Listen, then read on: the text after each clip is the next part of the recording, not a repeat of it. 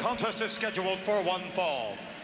In the ring to my left from St. Louis, Missouri, weighing 223 pounds, Tony Parks.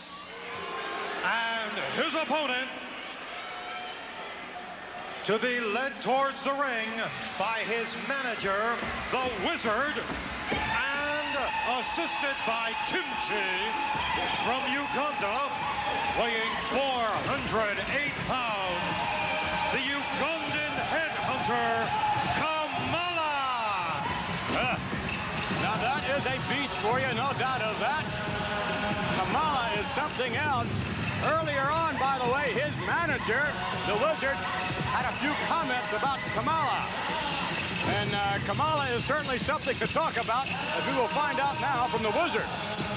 Even I get a thrill and a chill down my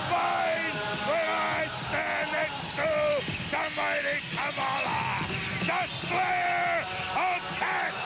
Has come for the rare Bengal Tiger, Hulk Hogan.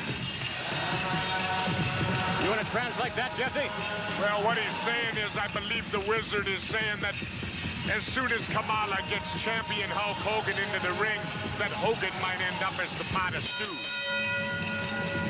Kamala Stew? Maybe. I think that's what I got out of it. I don't know whether, I don't know which looks worse, when you have the mask on or when you take it off. Bruno, what do you think? I think I like him with the mask on better.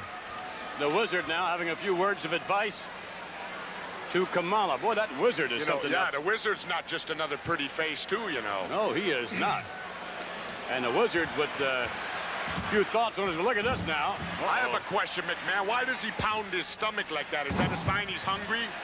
I would suggest that could very well be the reason why he pounds his stomach, Jess. That's an impressive back kick there. You really don't expect it. It's almost like a karate style. And look at the strength of this guy. Tony Parks, young man way up in the air and then down to the canvas. You know, and Parks is well over 200 pounds and he's picking up like that. Headbutt by Kamala. Parks down to the canvas again. And I would think that right about now, Tony Parks is wondering why he signed on for this match.